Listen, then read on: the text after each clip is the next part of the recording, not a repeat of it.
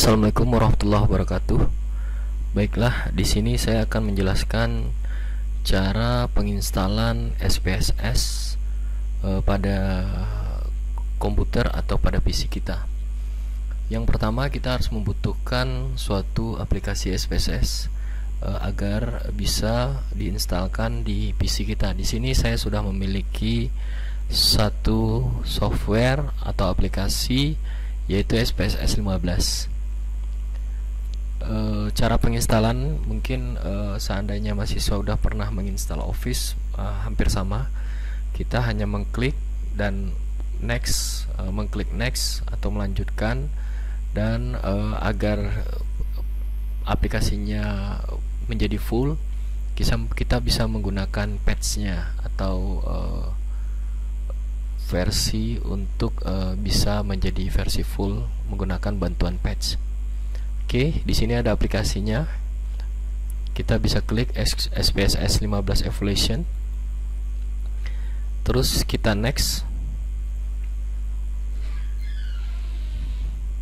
Ini proses berjalan, penginstalan berjalan. Oke. Maka ini pemasangan ke Windows ya, ke komputer kita.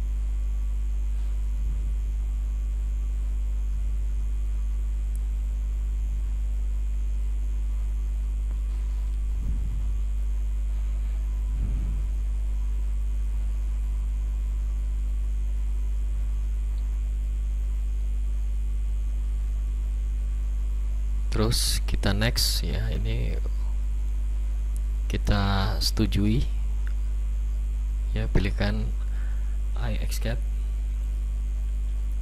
next ini kita lanjutkan aja. Next dan next install.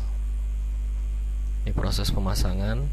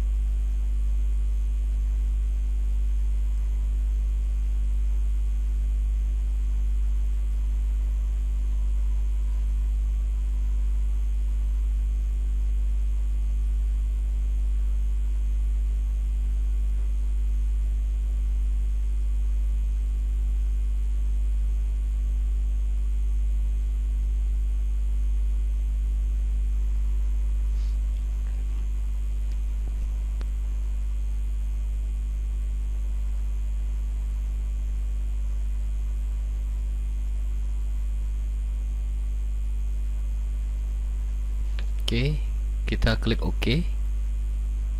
Maka uh, eh, SPSS sudah berhasil dipasang atau terinstall di PC kita. Ini contoh nampak ada SPSS 15. Uh, untuk penginstalan patchnya kita bisa pilih patch. Kita klik patch. Maka kita klik lagi patchnya. Oke, kita mencari letak patch uh, uh, apa aplikasi yang kita install tadi. Biasanya aplikasi yang diinstal itu di C di program file terus kita cari SPSS ini. Dan kita cari SPSS utility. Kita open. Oke udah selesai kita exit. Sekarang kita buka aplikasinya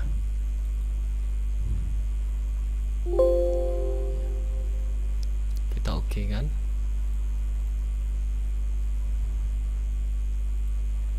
oke ya ini kita sudah berhasil menginstal SPSS ke PC kita uh, selanjutnya di berikut, video berikutnya nanti saya akan menjelaskan cara uh, menginputkan data ke SPSS. Uh, mungkin ini dulu uh, saya tutup. Assalamualaikum warahmatullahi wabarakatuh.